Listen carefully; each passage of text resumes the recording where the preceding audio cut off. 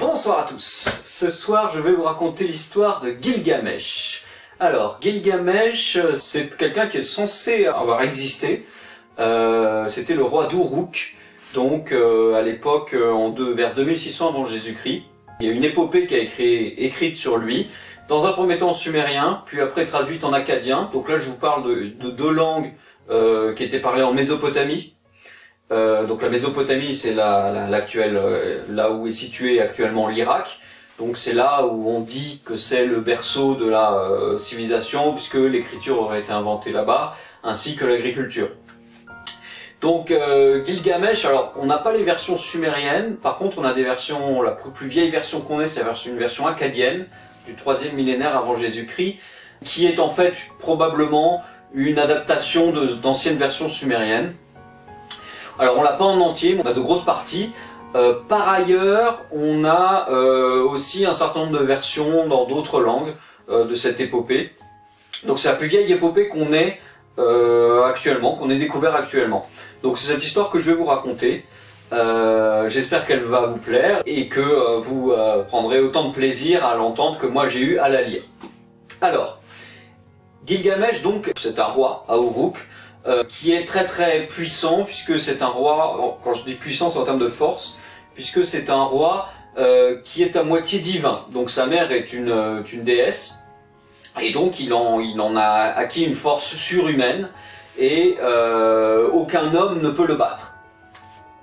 Alors c'est plutôt un bon roi, le problème, c'est qu'il a tendance un petit peu à euh, vouloir avoir la primauté sur les jeunes filles. C'est-à-dire qu'en fait, il euh, s'arrange ou il force les filles à coucher avec lui avant leur mariage. Euh, ce qui, bien sûr, petit à petit commence à poser problème à la population. Pour les jeunes filles, on comprend très bien pourquoi, parce qu'elles n'ont pas forcément envie d'avoir une, une, relation avec, avec Gilgamesh. Pour les pères, bien sûr, leur euh, fille n'est plus vierge pour le mariage, donc c'est problématique. Et pour les euh, futurs maris, leur femme n'est pas non plus, leur future femme en tout cas, n'est pas vierge. Donc ça pose problème à tel point que les, euh, les, les, hommes commencent à prier le dieu Elil. Alors dans d'autres versions c'est d'autres dieux. Ici je vais prendre la version où c'est le dieu Elil pour qu'il qu'il les aide à se débarrasser de Gilgamesh.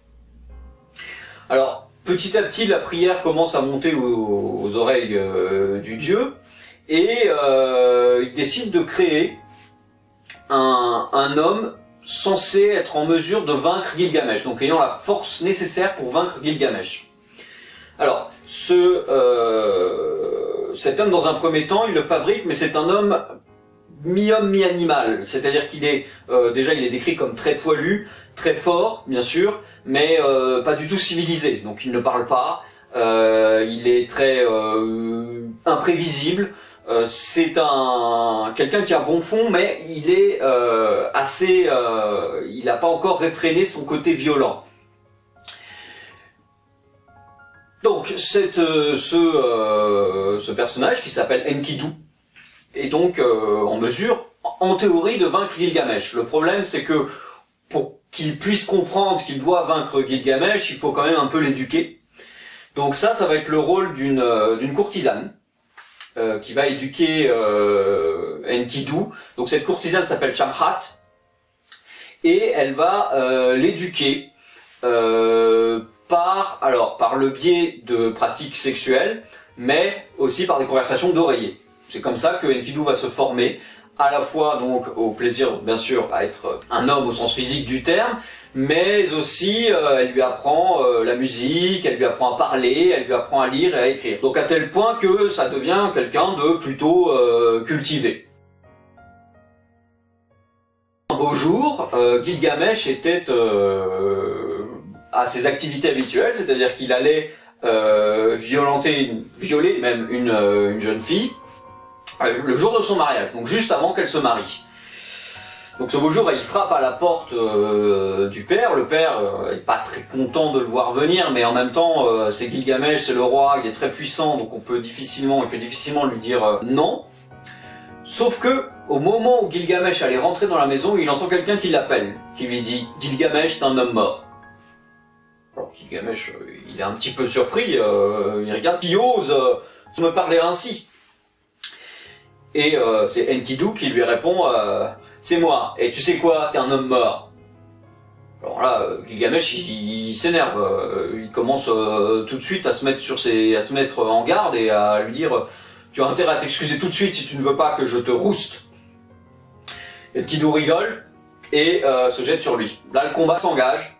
Alors c'est un combat du- d'une rare violence hein, quand même. C'est de- deux, euh, alors un demi-dieu et un homme euh, à moitié bestial, mais qui a une force surhumaine. Euh, donc c'est un combat où vraiment il se donne des coups à, à corps perdu et le- les, murs tremblent, les maisons tremblent sur leurs fondements. euh, les deux euh, combattants, à chaque fois qu'ils se frappent, ils se retrouvent éjectés euh, dans une maison. Donc il y a des maisons qui s'effondrent. Vraiment c'est un combat, mais d'une violence mais inouïe. Euh, ils ont pas tout à fait la même façon de se battre. C'est-à-dire que Gilgamesh, lui, est assez plutôt technique, donc il fait des euh, des, euh, des feintes, des, des, coups de poing. On sent qu'il c'est quelqu'un qui a appris à se battre. Enkidu, lui, il a pas du tout appris à se battre, sauf que il compense tout ça par une violence, une bestialité à toute épreuve. Donc il se jette sur sa sur sa proie et euh, frappe sans avoir peur de se prendre des coups. Donc le combat dure, le combat dure. Gilgamesh, il se dit, euh, il est surpris quand même de voir quelqu'un d'aussi euh, puissant euh, face à lui. Il prend presque du plaisir à se battre. Pour une fois qu'il peut affronter quelqu'un de son niveau, il est presque content. Enkidu, lui, il est bon, il est toujours un peu un peu énervé, mais lui aussi quand même, il prend un peu de plaisir à se battre. Donc le combat dure. Une heure, deux heures, trois heures, ça dure. Une journée, deux journées, ça dure des jours entiers, une semaine entière, pendant lesquels ils se battent à, corps perdu. Donc, petit à petit, ils commencent à fatiguer. Au fur et à mesure des jours, ils ont euh, déjà, ils sont assoiffés, ils ont euh, du mal à se déplacer, ils ont des, des cocards monstrueux, ils ont, ils ont même du mal à voir à cause de leurs yeux au beurre noir. Euh, ils sont vraiment dans un état euh, lamentable, leurs coups sont au ralenti, mais ils lâchent pas l'affaire, ils lâchent pas, ils tiennent, ils veulent à, tout prix euh, se battre. Mais au bout d'un moment, Gilgamesh il commence à se dire que euh, tout de même, si je continue comme ça, je vais le, tuer, alors que c'est la première fois que je rencontre quelqu'un d'aussi puissant. Peut-être que je pourrais euh, le mettre dans mon armée ou faire des choses avec lui, euh, des exploits. Peut-être qu'avec lui, je pourrais faire des, choses incroyables. Et lui, euh, il continue à se battre, mais en fait, il, comment dire, il prend tellement de plaisir à, ce combat qu'en fait, il n'a pas forcément envie que le combat se finisse. Il n'a pas forcément envie de gagner. Il aurait envie que le combat dure indéfiniment. Il prend du plaisir vraiment à ce à ce combat, mais il sent qu'il commence à fatiguer et euh, il a peur que Gilgamesh euh, soit le, le vaincre, soit qu'il soit vaincu.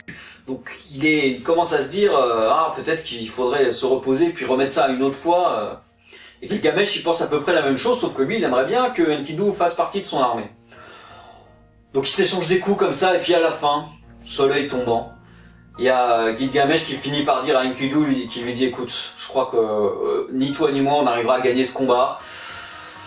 Je pense t'as l'air d'être quelqu'un de sympa, allez viens, je te paye un verre. Enkidu, il réfléchit un petit peu, il a envie de continuer à se battre, mais en même temps il se dit tiens, euh, ce mec a l'air sympa et peut-être que je pourrais essayer de faire un peu plus connaissance, il a l'air... euh, J'ai envie de faire sa connaissance. Et finalement il accepte, ils vont tous les deux boire un verre, et là naît vraiment une amitié, mais euh, euh, à toute épreuve, la plus grande amitié qu'on puisse euh, imaginer.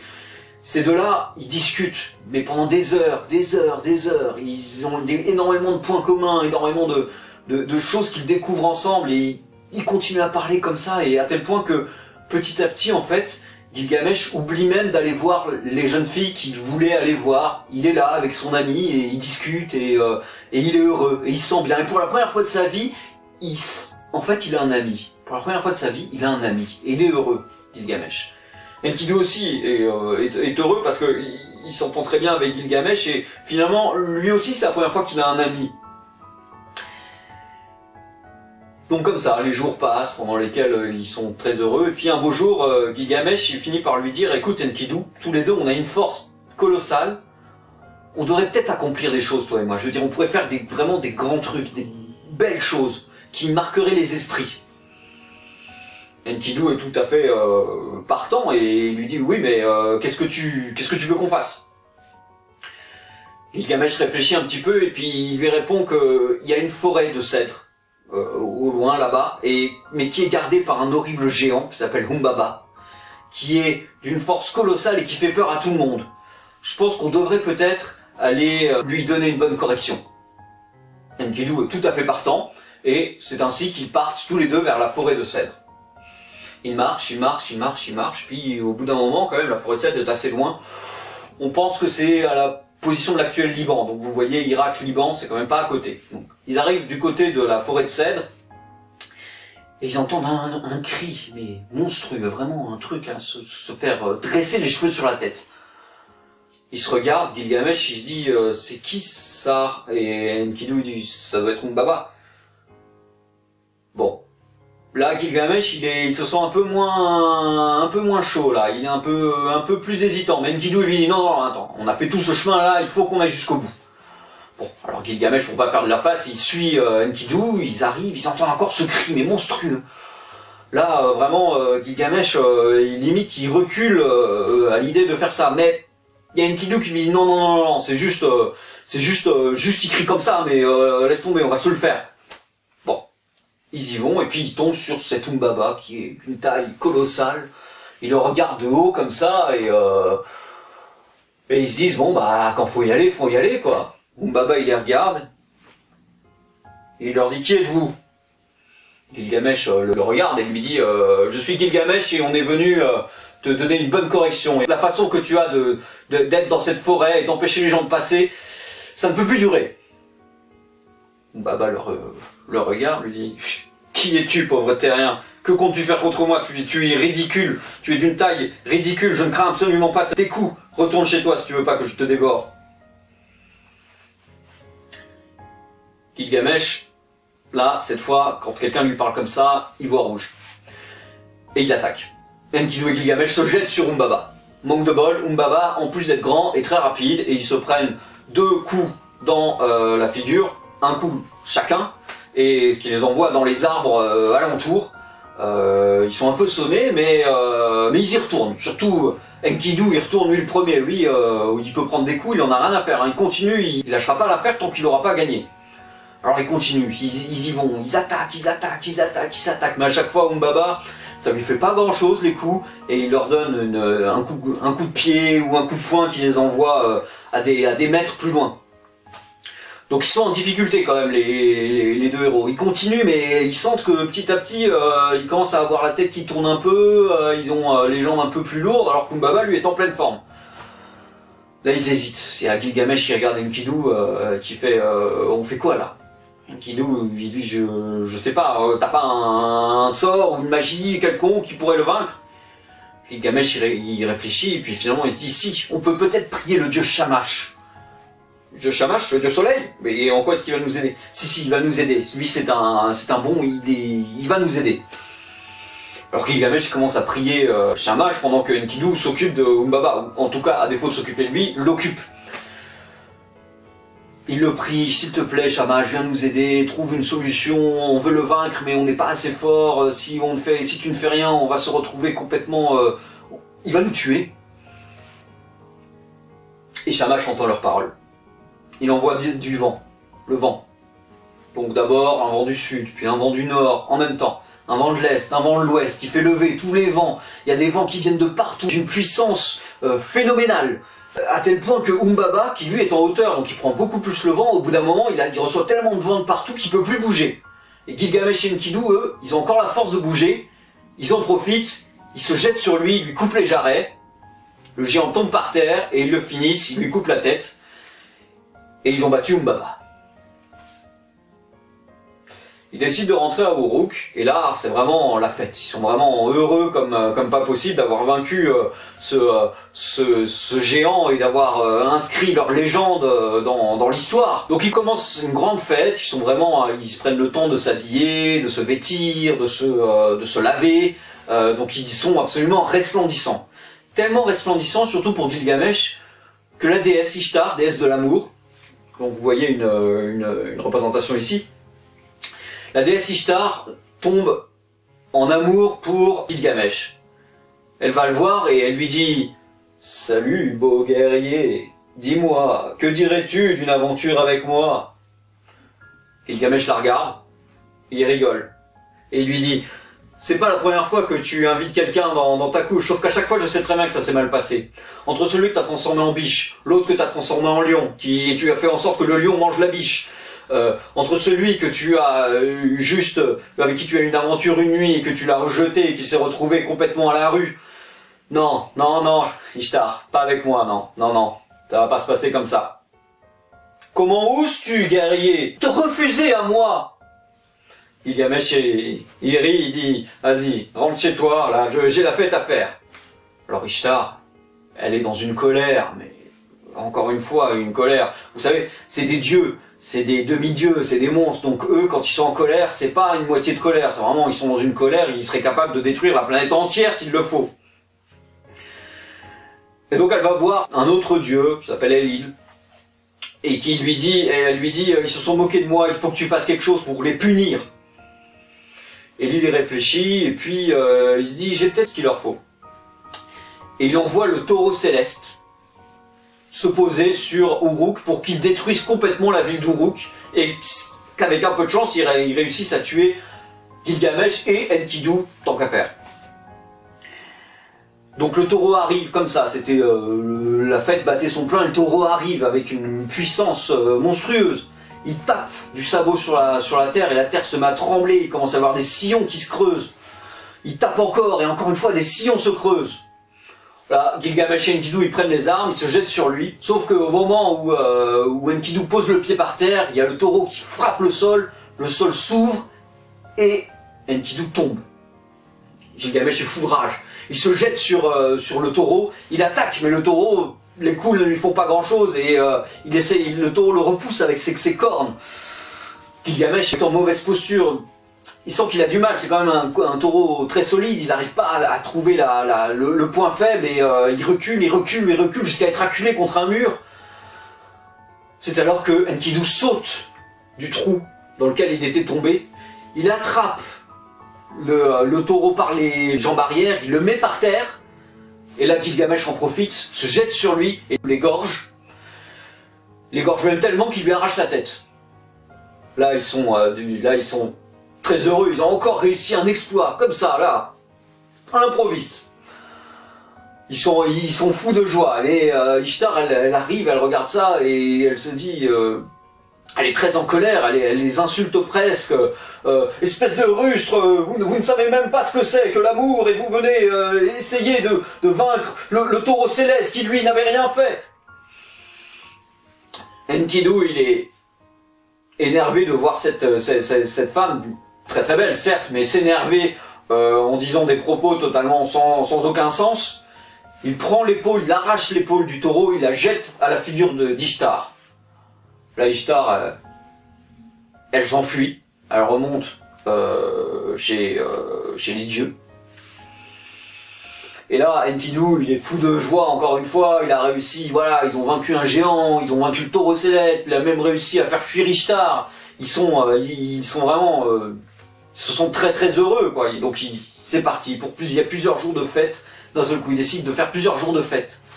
La fête dure, la fête dure, la fête dure, mais un beau jour, ou plutôt une nuit, euh, Enkidu rêve qu'il va mourir. Il sent sa fin arriver. Il sait pas trop pourquoi, mais il rêve du royaume des morts, euh, que tout est vide. Enfin, c'est pas que tout est vide, mais il y a rien à faire. Tout est, tout est, tout est morose. Il n'y a pas de vie. Il n'y a pas de, il n'y a rien à faire. Et il sent que c'est là où il va se retrouver. Il va voir son ami Gilgamesh et lui dit Gilgamesh, je crois que c'est fini. Gilgamesh lui dit non mais n'importe quoi, tu es en pleine forme. Il n'y a aucune raison que tu te retrouves euh, comme ça euh, à mourir. Malheureusement, Enkidu tombe malade. Il tombe très très malade, il, vomit, il est tout blanc, il a des pustules qui lui, poussent, il a du mal à respirer. Il peut plus se lever au bout d'un moment, il reste dans son lit. Et il regarde Gilgamesh et il se dit oh c'est terrible. Enfin il dit à Gilgamesh c'est terrible. Je, suis en train de mourir et alors que j'ai rien vu du monde. Je veux dire j'ai à peine quelques même pas quelques années quelques semaines et je vais mourir comme ça. Tout ça c'est la faute de, de ces dieux. S'ils ne m'avaient pas créé je serais je serais je serais pas mort. Je, je serais et il éclate en sanglots. Gilgamesh lui dit, oui, tu serais peut-être pas mort, mais tu serais pas vivant, on n'aurait jamais pu se rencontrer si ça avait été comme ça. Et Enkidu se remet à se, se, morfondre, et tout ça c'est la faute de Shabrat, si elle m'avait pas appris les choses, j'aurais pas, j'aurais pas su ce que c'est que de vivre, et du coup j'aurais pas euh, souffert de devoir mourir.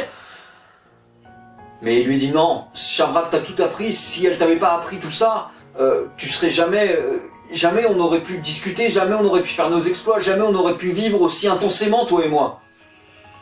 Et Enkidu dit oui, tu as raison, Gilgamesh. Quelques heures passent. Le souffle de Enkidu est de plus en plus dur, de plus en plus... Euh, il a de plus en plus de mal à respirer.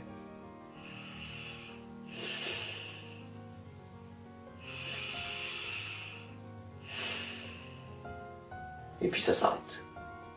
Enkidu meurt, comme ça, avec Gilgamesh juste à côté de lui.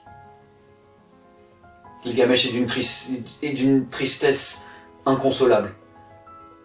Il avait un ami la seule personne qu'il comprenait et qui le comprenait, et il est tout seul maintenant. Il n'y a plus personne. Et pire que ça, il se dit, il a vu dans quel état Enkidu est mort, en souffrant, en regrettant sa vie.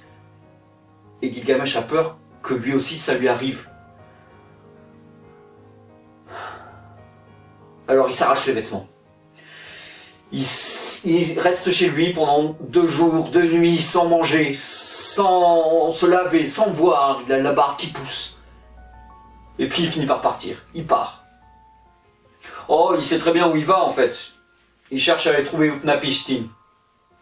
Utnapishtim, c'est euh, celui qui a survécu au déluge. Oui, oui, le déluge, celui qu'on connaît dans la Bible, celui-là même. Et en survivant, en survivant au déluge, les dieux lui ont donné l'immortalité. Du coup, euh, Gilgamesh aimerait euh, trouver cette euh, Utnapishtim pour qu'il lui apprenne le secret de l'immortalité. Parce qu'il veut, finalement, il réfléchit, il s'est dit, je veux pas mourir, je veux pas que ça m'arrive ça. Et donc il part. Il prend la route de l'ouest. Il arrive, il passe par la forêt de cèdres, puis il continue son chemin.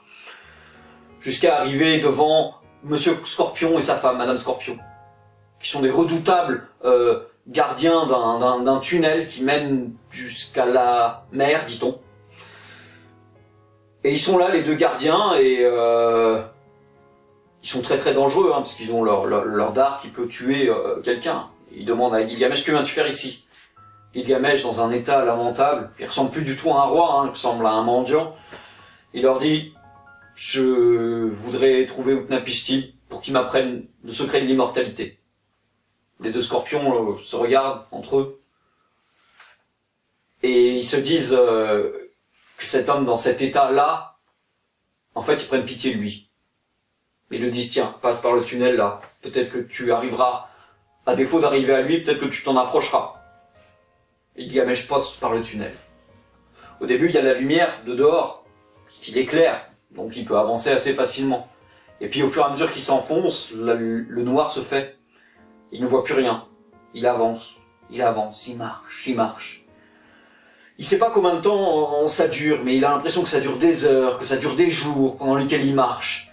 Il a soif, il a faim, il est fatigué, et il continue à marcher. Il se dit non mais je vais mourir là, dans, le noir là, si ça continue comme ça. Et il continue à marcher, et petit à petit le, désespoir euh, l'atteint, et il sait plus il va pas faire demi-tour parce qu'il a déjà fait des, kilomètres et qu'il n'a pas la force de retourner, mais en même temps il se dit mais ça n'en finira jamais. Et il continue à tâtonnant, en tâtonnant. De temps en temps il se, il se cogne, il se colle le front parce que le, plafond est bas, ou il se cogne les, jambes parce qu'il y a un caillou qui, débat, qui dépasse. Et puis finalement au bout d'un moment il voit la lumière. Et il continue vers cette lumière et il sort au grand jour, encore plus fatigué, encore plus euh, assommé qu'avant, mais néanmoins assez euh, soulagé que d'avoir trouvé cette sortie. Il marche, il fait beau, il y a de l'herbe partout, mais il voit pas du tout la mer. Il continue à marcher, il continue à marcher, et puis au loin il voit quelque chose qui scintille. Il continue à marcher, et puis cette chose scintille de plus en plus, et il s'aperçoit qu'en fait, cette chose, en réalité, c'est une étendue d'eau. C'est la mer. Alors il aimerait traverser puisqu'il sait très bien que Utnapishtim se retrouve sur une île euh, au loin, mais il sait pas comment faire. Heureusement, il tombe sur un une auberge, juste comme ça au bord de la mer, avec des gens dedans. On sait pas d'où ils viennent, mais il y a des gens dedans. Et il y a notamment la patronne, la tavernière, Sidori qu'elle s'appelle.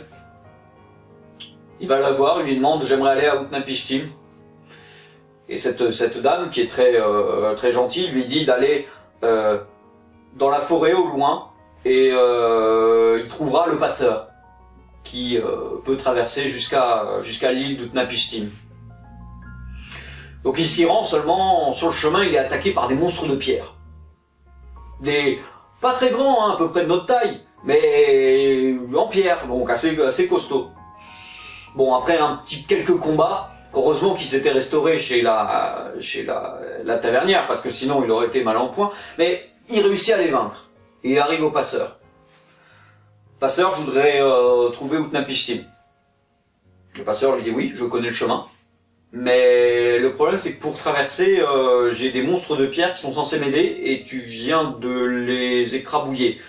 Euh, donc il va falloir que tu ailles dans la forêt là-bas et tu vas nous chercher euh, 120 euh, de bois que tu vas couper et tu vas les apporter. Alors Gilgamesh fait ça très facilement. Il monte dans la le bateau. Alors c'est pas précisé c'est quoi comme bateau, on va dire une barque. Il monte dans cette barque et la barque part. Il continue, ça avance, ça avance, ça avance, des kilomètres, des kilomètres. Bon, ça fait à peu près 500 kilomètres, mais il va très très vite, donc en trois jours c'est fait. Mais au bout d'un moment, il arrive sur une mer d'huile. C'est le royaume des morts. Il n'y a plus rien qui, qui, bouge, le bateau ne peut plus avancer.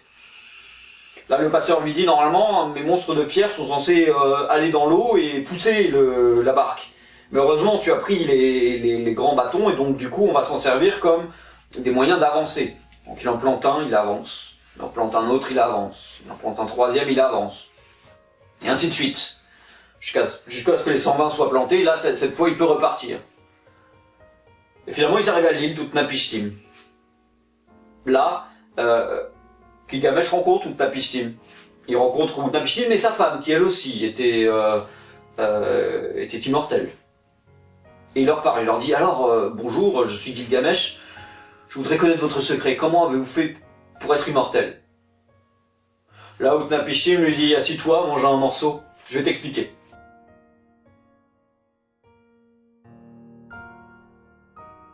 Autrefois, les dieux étaient en colère contre les hommes. Alors ils ont décidé d'envoyer un immense déluge pour noyer tout le monde. Mais heureusement, Shamash est venu me voir et il m'a dit Écoute, tu vas construire une arche dans laquelle tu vas aller, toi et ta femme. Et puis tu vas prendre une paire d'animaux, un couple d'animaux. Tous les animaux que tu rencontres, tu les mettras dans cette arche. Et cette arche euh, voguera dans les flots pendant que le déluge s'abattra sur l'ensemble de la population. Alors ce que j'ai fait, c'est euh, que j'ai pris euh, donc tous les animaux de la terre, je les ai mis dans cette arche que j'avais fabriquée. Et puis la pluie a commencé à tomber. Elle a tombé des jours, des jours, des jours, des jours. Le niveau de la mer montait, montait. Moi, heureusement, j'étais dans mon arche, mais je voyais les villages qui se noyaient, les gens qui se noyaient, qui appelaient au secours. Mais les dieux m'avaient dit de ne pas euh, aller les aider. Le niveau de la mer a monté, a monté, tout le monde s'est retrouvé noyé. Et la pluie continuait. Pendant sept jours, elle n'a pas arrêté de, pleu- de pleuvoir. Le septième jour, ça s'est arrêté. Voyant que la, pluie s'arrêtait, euh, je me suis dit que j'allais peut-être voir s'il y avait quelque part un- une terre sur laquelle aller. Pas loin. Donc j'ai pris euh, un couple euh, d'hirondelles et je les ai envoyées, mais elles sont revenues. Alors c'est qu'il n'y avait pas de terre à proximité. Le lendemain, j'ai pris un couple de colombes et je les ai envoyées. Elles sont revenues. Alors il n'y avait pas de terre à proximité. Le surlendemain, j'ai envoyé le couple de corbeaux. Ils sont pas revenus. Donc il y avait de la terre pas loin. Et effectivement, j'ai retrouvé la terre et la pluie a arrêté. L'eau a diminué et puis j'ai vu que tout était désolé et nous étions là tous les deux. C'est alors que les dieux, notamment Shamash, est venu me voir et il m'a dit pour ce que tu as fait, pour tu, parce que tu as sauvé euh, les animaux, je vais t'offrir l'immortalité. Et c'est ainsi que je suis devenu immortel. Gilgamesh écoute cette histoire, euh, il est fasciné, il ne connaissait pas l'histoire du déluge.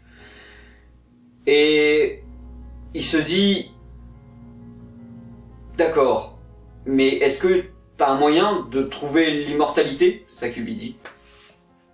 Ou Tapichi lui dit non, l'immortalité n'est pas pour les hommes.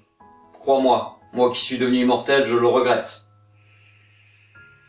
Mais si tu y tiens tant, je peux te mettre à l'épreuve. Et si tu réussis cette épreuve, alors, je te donnerai le secret de l'immortalité. Gilgamesh dit d'accord.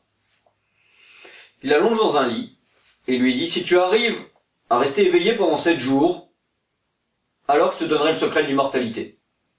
Gilgamesh se dit, pas de problème, rester éveillé sept jours, ça va marcher. Il s'allonge, les deux euh, immortels avec le passeur qui était toujours là euh, rentrent, et Gilgamesh s'endort. Il dort des jours et des jours. Alors, pour qu'il puisse se rendre compte qu'il a dormi des jours, les euh, deux les deux immortels décident de euh, fabriquer du pain tous les jours, de mettre la miche de pain juste à côté de Gilgamesh. Comme ça, s'il se réveille, il aura de quoi manger. S'il se réveille pas, bah, il pourra voir que le pain, euh, qu'ils lui ont mis le pain régulièrement et que petit à petit, le pain a, a rassis. Et il dort sept jours, Gilgamesh. À son réveil, Utnapishtim lui demande, sais-tu combien de temps tu as dormi? Gilgamesh dit non, euh, j'ai pas dormi, enfin juste peut-être un quart de seconde. euh. Tu crois vraiment? Regarde ces morceaux de pain là. Tous les jours on a fait un morceau de pain. Tu comptes le nombre de pains qu'il y a, puis plus rassis ou moins rassis, tu vois bien que il y en a sept. Tu as dormi sept jours. Gilgamesh est vraiment désolé quoi. Il pensait euh, réussir cette épreuve et il a complètement raté. Faut dire qu'il était crevé par le voyage. Mais il est déçu. Il allait partir, mais la femme de euh, la femme d'Utnapishtim lui dit à son mari euh, "Écoute, il peut pas partir les mains vides. C'est pas possible. C'est pas dans notre euh, coutume de laisser quelqu'un partir les mains vides." Utnapishtim réfléchit et il, il hésite euh, quand même. Mais finalement, comme c'est quelqu'un de bon, il finit par lui donner l'élixir. Et il lui dit cet élixir va permettre de avoir le corps assez lourd pour pouvoir aller dans la mer et aller récupérer une plante, une algue. Et cette algue, elle te donnera l'immortalité. Gilgamesh il dit ok très bien, il avale l'élixir, il va dans l'eau mais il flotte encore un peu. Alors il rajoute des cailloux à ses pieds pour vraiment couler. Il arrive, il récupère la plante, il remonte. Et là-dessus, ils lui disent, voilà, euh, tu, quand tu arriveras chez toi, Uruk, tu, tu feras une, une décoction à partir de cette plante et tu acquerras l'immortalité.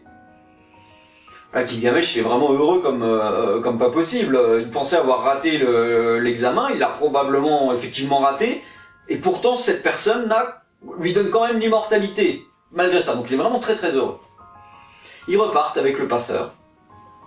Ils arrivent euh, euh, au niveau de, euh, de la plage où est située euh, la taverne, ils passent le bonjour à la tavernière, continuent leur chemin, et puis un moment, en arrivant pas très loin d'Uruk, euh, il y a Gilgamesh qui voit une, un trou d'eau. Il se dit, ah bah je vais me baigner avant d'arriver à, à, Uruk. Il se jette dans l'eau, il va se baigner, mais le problème c'est qu'il avait laissé ses affaires juste à côté. Et qu'est-ce qui s'est passé? Ben, Un serpent a attrapé la plante et il l'a mangé, il est parti avec. Quand Gilgamesh voit ça, il est vraiment triste, il se dit tout ça pour ça, j'y étais presque et, ça s'envole. Et vraiment, il finit par rentrer à Uruk, les pieds traînants, il explique à, au passeur, voilà, ce qu'il a fait construire, là, les remparts, euh, là, euh, un puits, là, euh, un champ irrigué, et, et au fur et à mesure qu'il explique à, au passeur ce qu'il ce qu'il a fabriqué, d'un seul coup, petit à petit, plutôt, dans sa tête, il commence à se dire, et si c'était pas ça l'immortalité, finalement? Et si c'était pas de construire des choses qui durent, qui serviront aux gens après, et les gens se souviendront de mon nom, et se souviendront de moi, se souviendront de ce que j'ai fait pour eux? Et finalement, il arrive au Rook et il a acquis une certaine quiétude. Il a compris que l'immortalité physique, c'est pas forcément qu'il faut souhaiter. En revanche, l'immortalité au niveau de la légende, c'est ce vers quoi il faut tendre. Voilà. Cette histoire s'achève euh, ici. J'espère qu'elle vous a plu et que vous suivrez les autres histoires. Euh, la prochaine fois, nous, attacherons à l'histoire de Coucoulaine. Je vous laisse chercher un petit peu sur internet ce que ce que c'est que Coucoulaine. Sur ce, je vous dis à bientôt.